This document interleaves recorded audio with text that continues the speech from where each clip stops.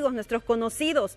Una persona más fallece en, la, en el triaje de la Universidad Católica de Honduras. Lamentablemente, por falta de cupo, no había podido ser trasladado a otro centro hospitalario. Qué terrible. Fanny Zúñiga está en el lugar y nos da los detalles. Adelante con usted, Fanny. Buen día.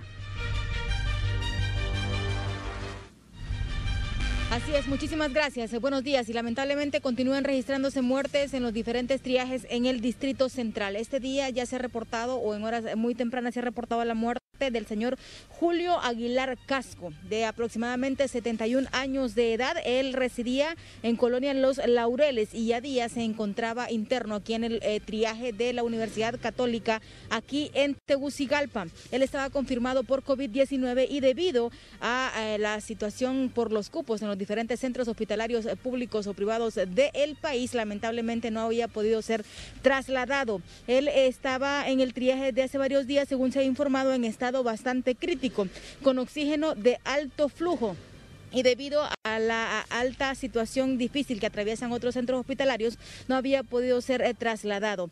Por tanto, ya se ha notificado lo que eh, ha sucedido a los eh, familiares de este caballero y se siguen lamentando obviamente estas muertes. Y además de eso, se espera y se envía el mensaje a la población hondureña que llegue con tiempo a los diferentes centros de triaje u hospitales y lamentablemente tienen que entender que los cupos están bastante limitados. Por tanto, el llamado de los médicos a toda la población en general es a cuidarse y a tomar conciencia para que se respeten las medidas de bioseguridad. En todo caso, si se siente con algún tipo de síntomas por COVID-19, ir con tiempo a los centros asistenciales. Con esta pésima información a esta hora del día, junto a José Oseguera con ustedes nuevamente.